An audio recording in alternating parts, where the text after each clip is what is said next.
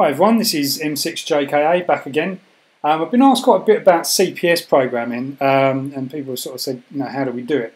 Um, it's quite a big topic, and can't really explain that um, very, very easily, but um, what I thought I'd do is a video um, to show the basics of you know, programming radios, or programming Hytera radios with the Hytera CPS. So what I'd first sort of want to start with is really saying when you first get your radio, if it hasn't been programmed already, or, or if it has been programmed, um, then the best thing to do would be to basically just download your code plug that's in the radio, whether it's a factory code plug or whether it's the code plug that came with the radio supplied by a dealer or, or whatever. Um, what you want to do is get that out of the radio ASAP so that if you ever mess anything up, you can just load that back on. It's very important that.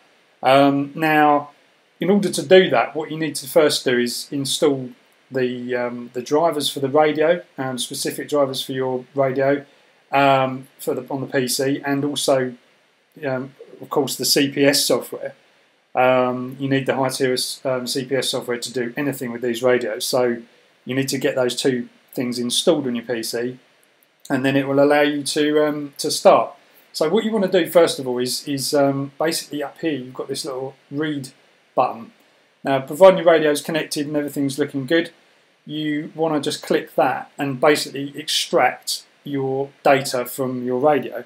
Um, I'm not going to do that now because I haven't got a radio connected at the moment on this on this particular PC.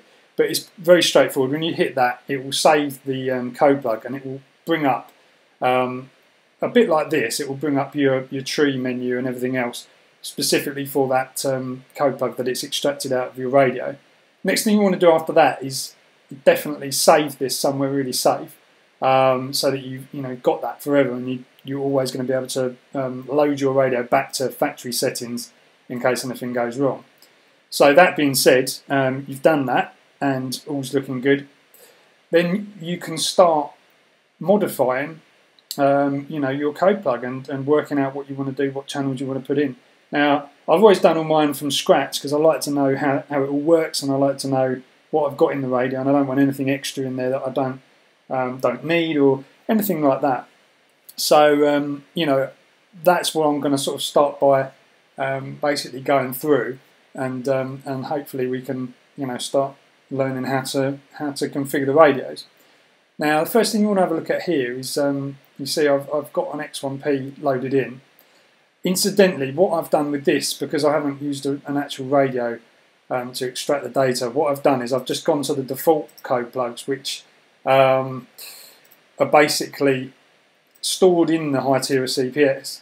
So you can, what you can do is you can go into the program files Hytera CPS, um, and there's a there's a little folder called um, uh, called default data. You can see that here, and it has all of the standard basic empty code plugs, if you like, for all of the different radios um, that you can get.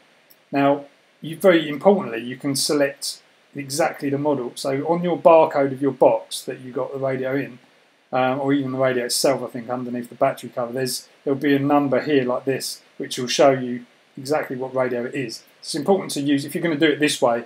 Um, then it's important to make sure you pick the right one. I would advise not doing it this way um, because really, really just want to extract the one from the radio because you know it's working and everything's fine. So um, do that.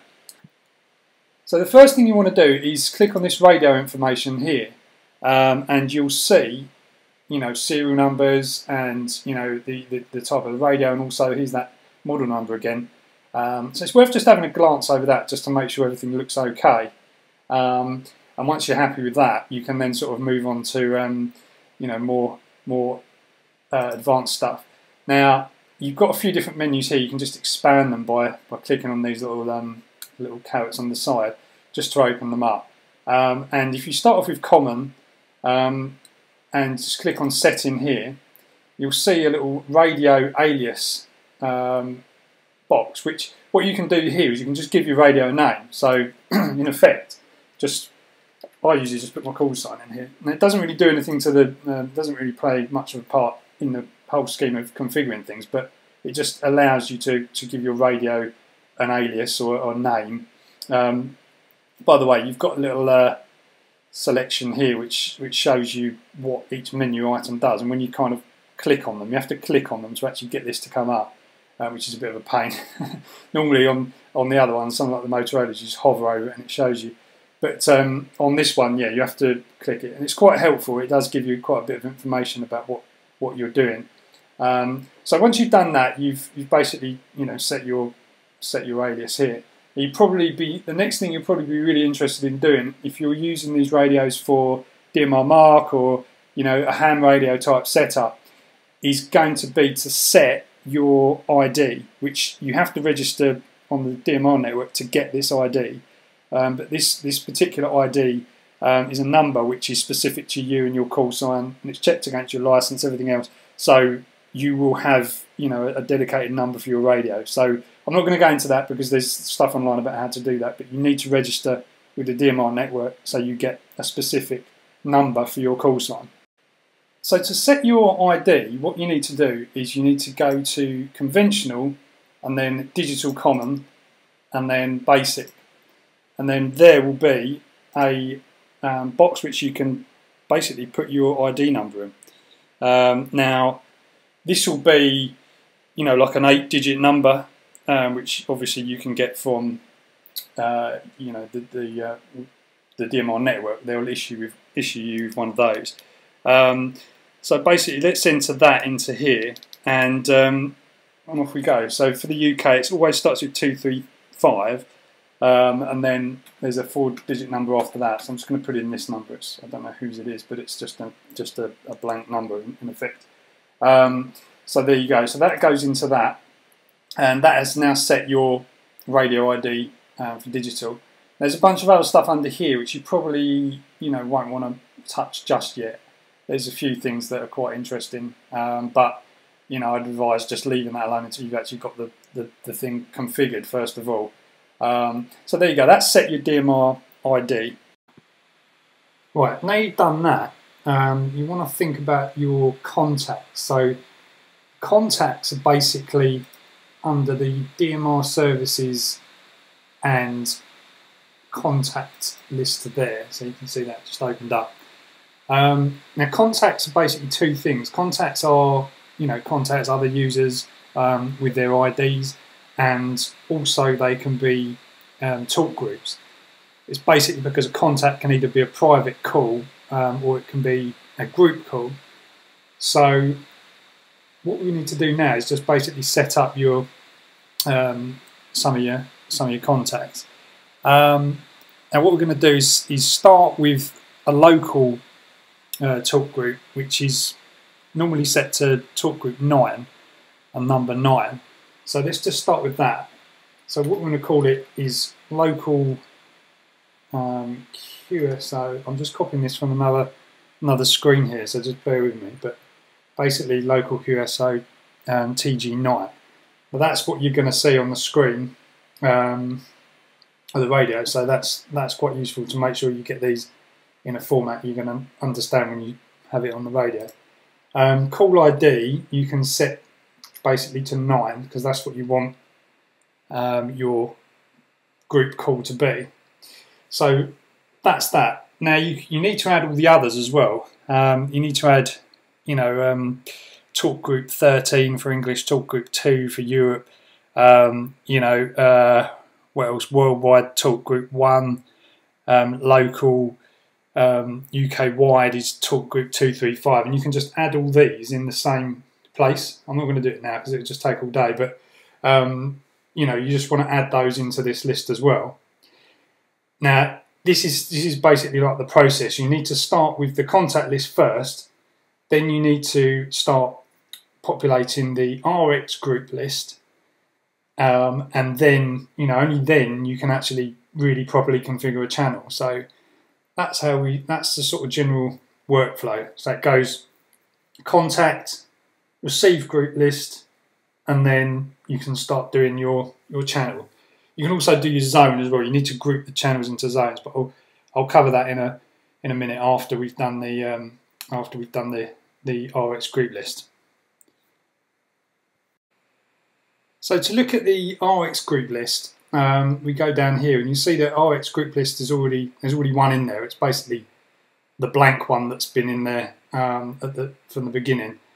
Um, so if we click on that, we'll see a name here, and it um, just says RX Group List 1. Now what we want to do with that, to start with, is, um, is change that RX Group List to something we understand, like local talk group, um, or local QSO, should I say, local QSO talk group 9, which basically matches the channel that we've got in there. So now we go like that. Now, when you get more, when you've added more contacts, you'll see them in this list here. And all you've got to do is just pick the right one out and make sure it goes into this, um, into the relevant uh, local talk, talk group. So what I'm what I'm doing is creating a RX group list for each talk group, and that's the most that's the easiest way of of doing it. Um, you know, you, you'll end up with a list here, which um, almost matches your group calls in your contact list. So you'll have local QSO, you'll have English Talk Group 13, Europe Talk Group 2, Roam Talk Group 8 if you're doing that, um, UK wide um, Talk Group 235, you know, and each each RX group list in here will will um, will kind of contain the correct contact um, for members. And it seems a bit kind of long-winded, but it's, it's really flexible because it allows you to have you know multiple talk groups in a received group list, so you can. It, it's really for you know for adding lots of different talk groups in one particular channel. It's it's quite clever, um, but it just means you have to do it this way round. So we've done that, and that's just going to be one channel. We'll just keep one um, one talk group in there for now, and um, we'll we'll go to sort of setting up setting up the channels. So to set up a channel, uh, now that we've got a contact, um, a talk group, and we've also got a receive group um, member, we can now set up a channel, and you'll see why in a minute. Um, you'll see exactly why um, why you have to do it this way.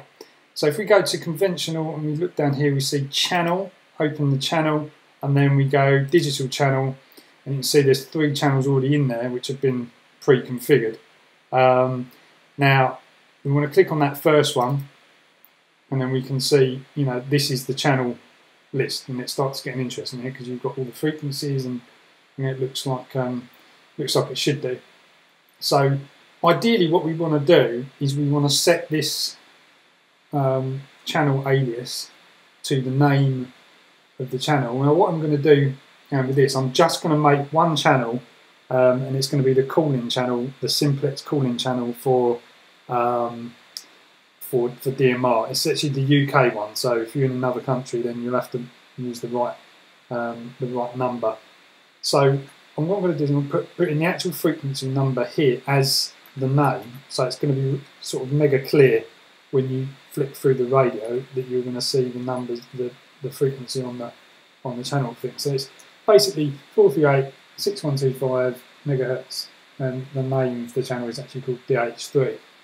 Now your color code, now that's um, that's normally quite important on um, on repeaters because each repeater will have a different will actually have a different um, a different color code. So you know you don't have to worry about it too much if you're sort of just making a make just making a channel.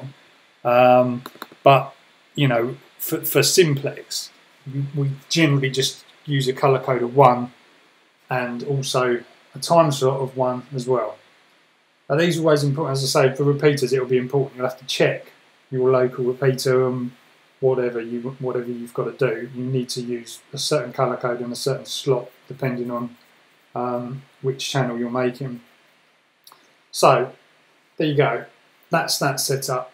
You've got a bunch of other stuff down here. Auto start, you know, quick GPS talk around, um, receive only, you know. Um, loads of different things here. These ones are greyed out because at the moment you're not using a um, you're not using a repeater, so you can't do multi-site connect or anything like that because both frequencies on here are the same. So now we, we scroll down to these, this bit at the bottom and we've got a section where you can enter the exact frequency. So what we're going to do is type in the exact frequency we want, 4386125, and then we can go across to the transmit part, the TX part, 438 6125 and that's it. So we've got the same receive as um, transmit, which means, means it's a simplex channel. And we've got down here is where we would select our group list. Now, you've only got one member in there, so the only one you can select is the local QSO talk group 9, which we made earlier in the, the uh, receive group list. And then our contact name, which is our transmit contact name, which actually comes from the contact list in DMR services there, which we also created, is showing there. So those need to be selected um, as corresponding to what you want to do. So basically you set up a channel here in 438.6125 megahertz, simplex channel, color code of 1, slot 1, and we're transmitting on a local talk group 9. So there you go. And receiving on a, on a talk group 9 as well. So that's it. That's your channel. Um, that's your channel set up. Now what's important to remember with the channels is when you set these channels up in this list here, um, you can also go here and, and, see the full list of um, channels that you've got in the radio there. It's quite straightforward here to add channels and, and do, do it that way. Um, you can also copy and paste from other code plugs, which is quite nice in this one as well. Um, but really the point is, once you've created a channel in, in here, you can't actually access that on the radio because you need to assign it to, um, to a zone. Now, a zone is basically, you know, is, is really just a, a quick kind of shortcut way of accessing a group of channels and you can select what channels you want to go in each zone. So let's look at the zone area there. Um, and you see there's two standard zones in there which have just been created by default. Click on zone 1 and we'll see here um, zone 1 is the, is the name of that particular zone and then we've got a bunch of channels in this as well. What we want to do here is we want to name this zone so that we can create a zone with a specific um, bunch of channels or one single channel as we've actually got in our in our um, system so far. So let's call this um, DMR simplex. Call that DMR simplex. Now that's a that's our one created. Now we've got all these other channels in here as well. We've got some analog channels and some digital channels all we really want is that one digital channel that we created a minute ago in there. So let's remove the others. Hmm? because it does, it's a default zone, it just automatically adds those ones in, so you can just remove them. So now we've got one channel in here in our in our DMR simplex channel zone. Um, so now when you you know, in the radio, what you'll just basically do is you'll just go to the zone menu and you'll see DMR simplex. And then once you select that, it will allow you to have one channel, um, you know, called DH3 um, in in the in the radio. So what you really need to do is add all the add, all the other ones. There's like seven, I think, um, channels there. One, two, three, four, five, six, seven, and, and um, you need to add those in as well. So that's it. That's the zone part um, completed. Right, at this point, it's probably a good idea to save what you've done so far. Um, it's good practice to get into just saving as you go. Um, like any Windows application, it can probably crash and you could lose everything. So just make sure you save as you're going along and um, there won't be any problems. And what I normally do is save sort of incrementally as well. Um, don't save in the default data, obviously, but maybe go to the desktop or, or another folder and just save, you know, use a code plug, use a name like a, a date and then a number after it. So, you know, 20th, 2008 um, dash one, and just do that every time you save a different one, and then you, you've got a work in, progress backlog to, to go, go from. Good practice to do um, all the time with any sort of file uh, making programs as well, and especially if you're using Excel as well. You'll thank me for that um, later. But um, that's that. So really now you're ready, pretty much ready to write that code plug back to the radio, and you're just going to have one channel, uh, one very simple channel, one zone, um, and you know it's very very very straightforward way of just showing how you would configure a, simplex channel. repeaters, I mean, are pretty are pretty easy. Um, you know, you're just obviously using different frequencies for different um, for the for the transmit and receive. But what you will have, find is for the digital channels, what you'll have to do is you'll have to create a different digital channel for each talk group. So you will have a few different talk groups in, in here, like the local, the um, UK wide, and you know, etc., etc. So what you'll have to do is you'll have to create a zone. What I do is create a zone for each um, a zone for each repeater. So GB7NS would have a zone, and then you'd have all the all of the NS um, talk groups under that zone, and then you can clearly, when you're in your in your radio, you can clearly just see um, scroll into your zone menu and just select what repeater you want to use. Um, so it's, it's, pretty it's pretty straightforward. Uh, what I'll do in a minute is load up my uh, my finished code plug, and um, I'll show you that. Right, okay, so what I've done now is I've loaded up my um, code plug. It's pretty much um, the one I'm using at the moment. Um, and you'll see you know, some information about um, how, it all, how it all works. And see here, you know, um, software's, firmware's sort of up to date, everything's sort of looking good there. Um, common settings, we've got some settings, my alias there, don't pinch that. Uh, but basically, um, you know, things things in here.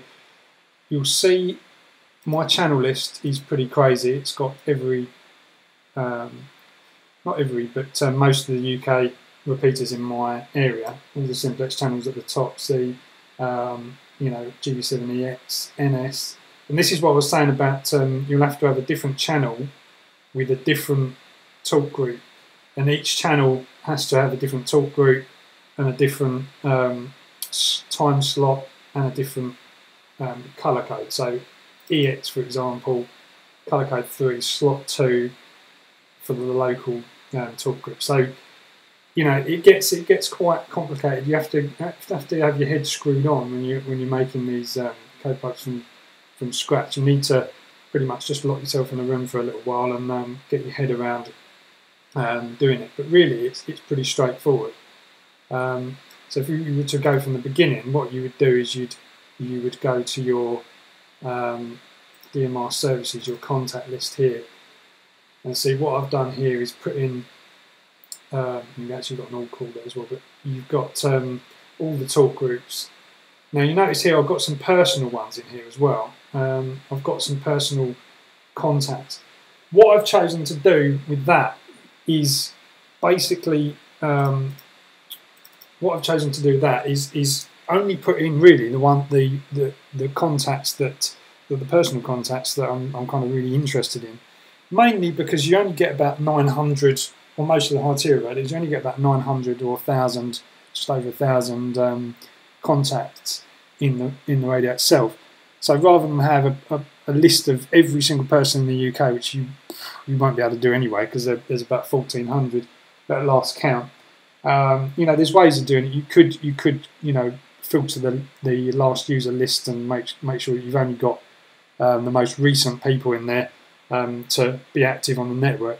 But to be honest, I just prefer to just to have, you know, the only people that um, really that I'm I'm kind of interested in. And that actually kind of the, what happens with that is it just means when someone calls you or calls up on a channel, you just see the number, their number on the screen a bit like a mobile phone. So if you then want to make contact with them again, just save that number and put their call sign against it. It's it's a far easier way of doing it than trying to import the whole UK contact list into um, into the radio, and, and it's a, it's a nightmare to maintain as well.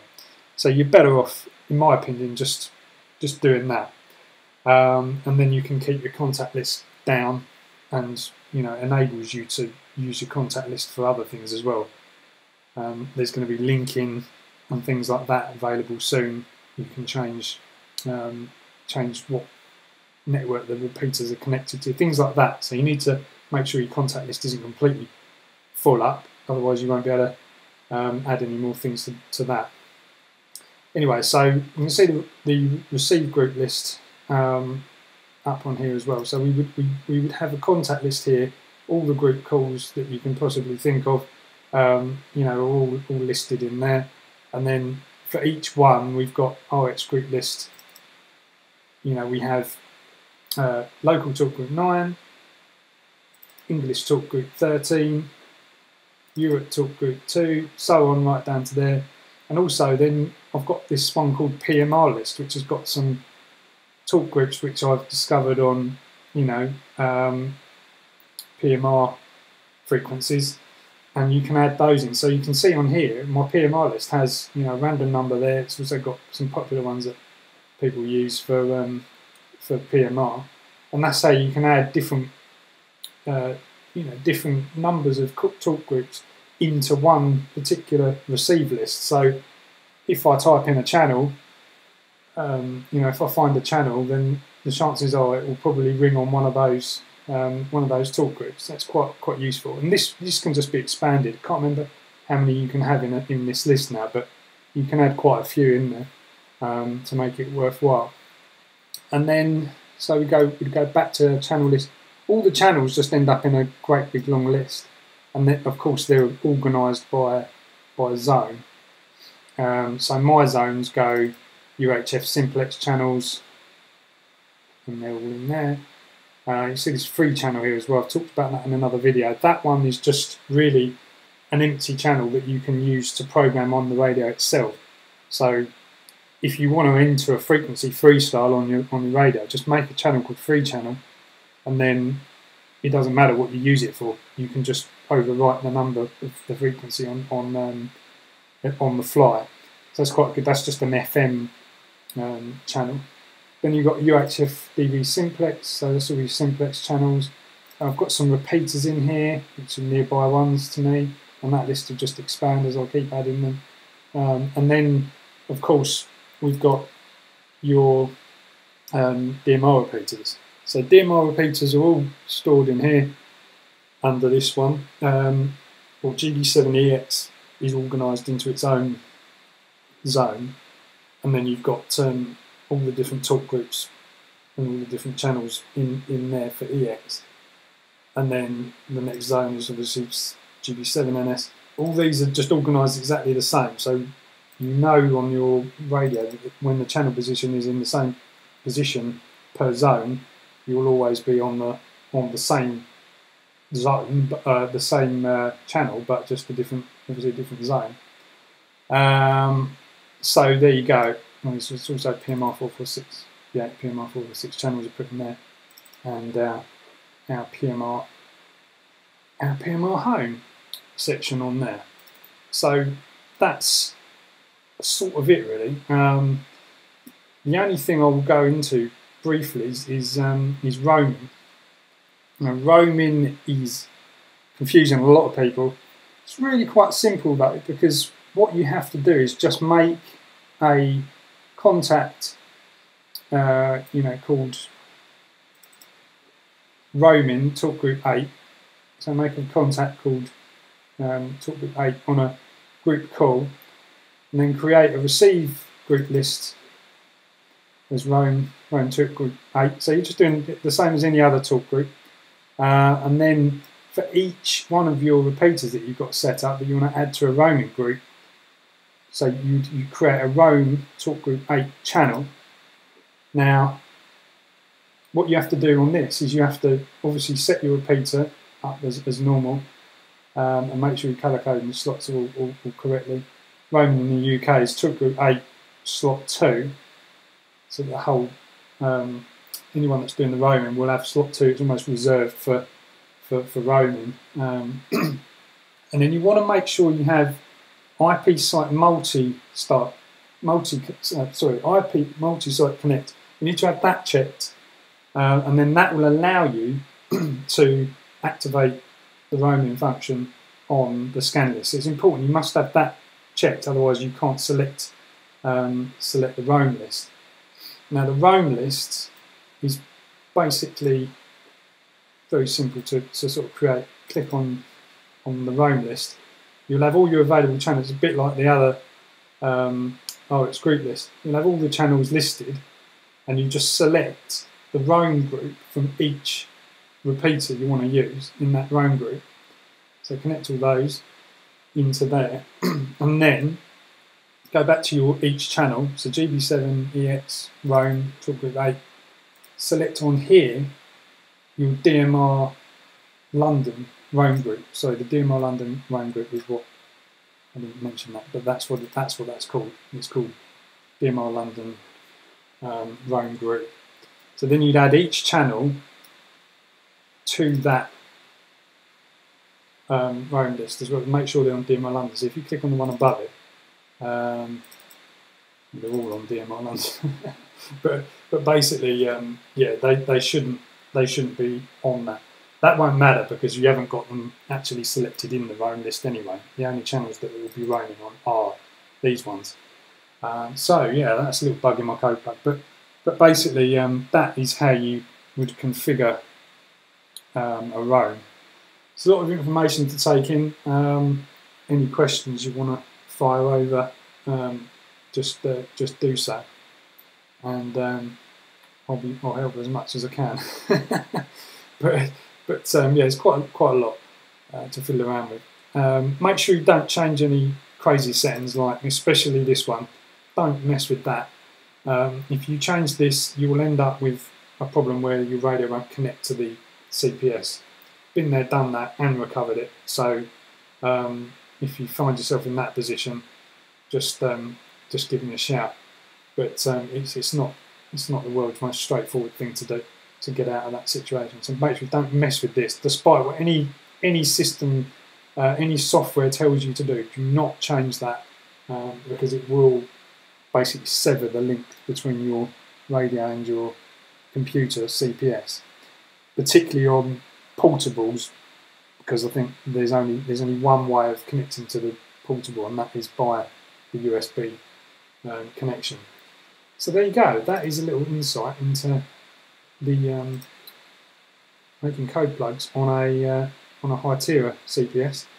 Um, it's pretty much the same for every radio, um, and the only difference I think is the PD365 or 360, whatever it's called, the small little one has a slightly different CPS, but the process is the same. You've just got to you just got to think um, contact list, then your receive group, then your channel, and then add that channel to a zone to get it on the radio.